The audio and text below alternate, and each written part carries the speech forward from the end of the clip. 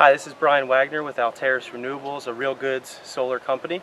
We're here in Bedminster, New Jersey, Somerset County, and we're actually finishing up a, a ground mount array. It's a 16.38 kW system that's going to produce about 18,000 kilowatt hours a year. This particular array will offset about 96% of the customer's electric bill every year for the next 20 years. It's an amazing uh, solution and the reason we chose to do a ground mount was because we just had lack of uh, available roof space and um, you know the, the orientation on the house wasn't great, you know it was kind of facing the wrong direction um, so we chose to put it on the ground. And uh, what's great about a ground mount is you can face it the ideal direction, 180 degrees, and you can face it the ideal pitch, about 30, 35 degrees.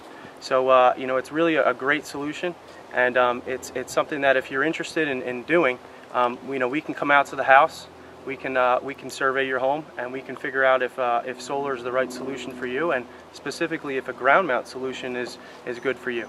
Um, so you know you could find us on the web at www.alterisinc.com, or you can call me directly, and you know we'll figure out a solution for your home or your business. Thanks, and we look forward to meeting you soon.